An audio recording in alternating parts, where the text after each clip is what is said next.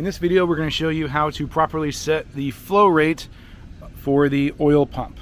So the flow rate is controlled by this uh, needle valve here for this flow control.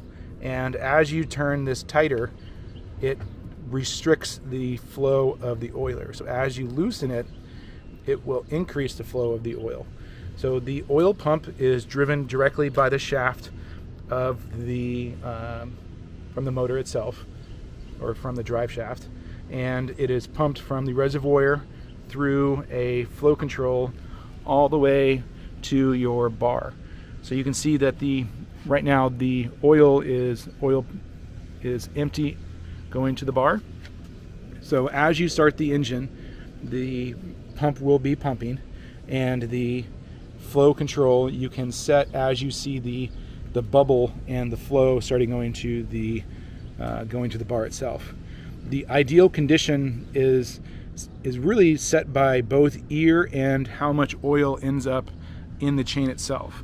Given the viscosity changes and your ambient temperature and everything else, we can't set this to a standard flow or standard position and have it work for everybody. So you're going to have to set this based on your ambient and what type of oil you use in order to, to dial this in appropriately.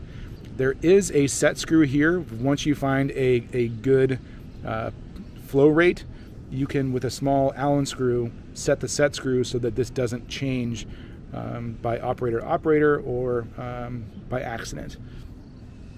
What you want to do is go ahead and with the chain running itself, check to see the that the oil in the bar is appropriate. So by checking the oil where the cut's actually being made, making sure that there is oil on the chain appropriately.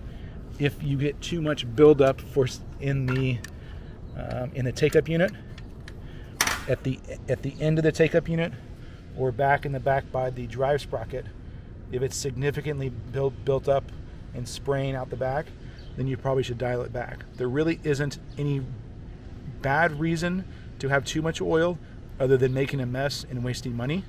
Having too little will cause premature wear on your bar itself. So that's really how you should adjust it based on both audible feedback.